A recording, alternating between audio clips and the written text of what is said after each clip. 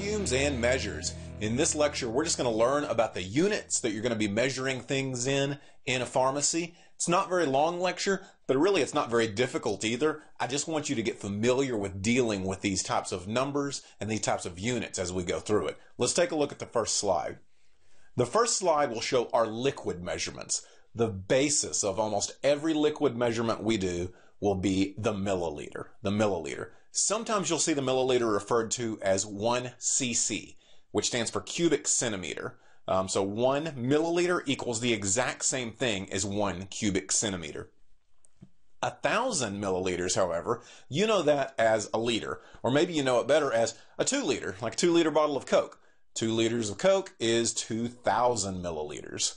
Um, let's on go down to what five milliliters is.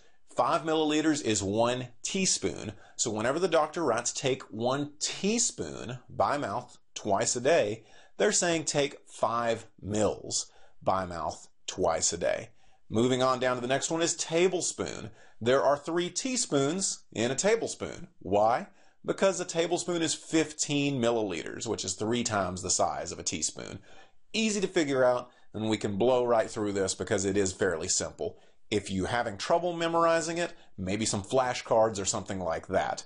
Moving on to the right side of the slide, I have an ounce, which is 30 milliliters. One ounce is 30 milliliters, and a pint, which is 480 milliliters. Now, if you'll buy something that comes in a pint, you'll notice that it comes in like, say, 473 milliliters. Many times there's some rounding that's going on, or many times they uh, it's a manufacturing process um, where maybe it's just easier for them to do 480 milliliters. But usually it's a product of rounding. Also, there's a cup, which is 8 ounces, and there's a gallon, which is 8 pints. Now notice I could say a cup, or I could say 8 ounces, or I could say 240 milliliters. All of them are the same thing. I want you to be able to convert between these. Um, if I ask how many teaspoons is in an ounce, how many uh, tablespoons are in a pint, any of that, I want you to be able to do that math and figure it out. We'll get into that in a couple lectures later, which is just called conversions. But uh, really, you ought to be able to see how it's going to work already just from looking at this uh, data.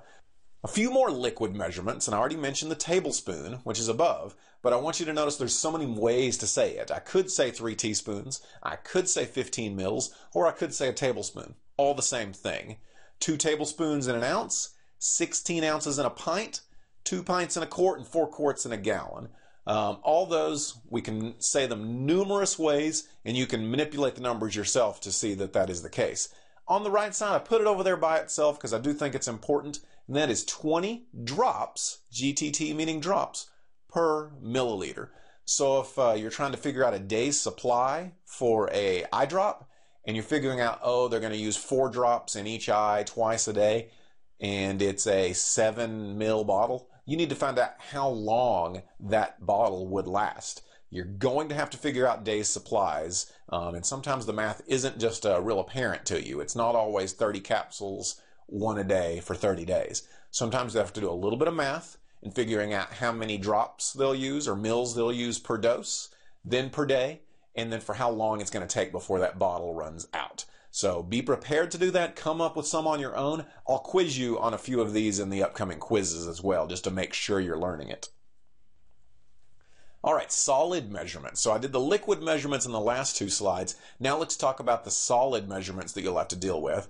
Just like the mill was kind of our base and our unit in uh, the previous slides, here it's going to be the milligram and the gram. Okay, so we'll start with just the gram, which is a thousand milligrams. For you uh, people that are really picking up things fast, you're understanding that 1,000 equals milli, uh, 1,000 equals milli, like a, a millennium is a thousand years. So a thousand grams or a thousand uh, milligrams equals one gram. Um, so again, 1,000 milligrams is one gram. 1,000 grams is a kilogram. 1,000 grams is a kilogram. And then 1,000, now pay attention to this, micrograms is one milligram. So you notice we're going by a thousand up or down every time, every time we switch to a different unit. Notice also on micrograms, I can have that little pretty U with a G.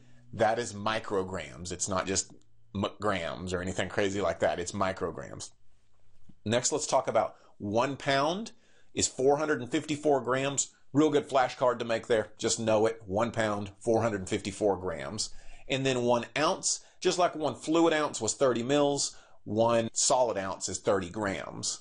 And then 16 ounces make a pound. Good one to know right there.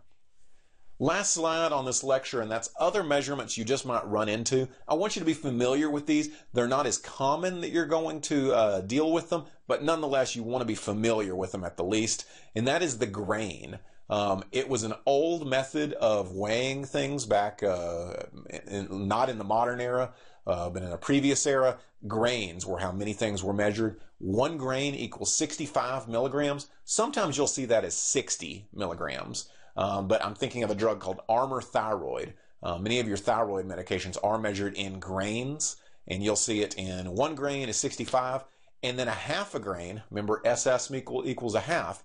Half a grain equals 30 milligrams. Now, I want you to know you're thinking, well, you told me one grain was 65.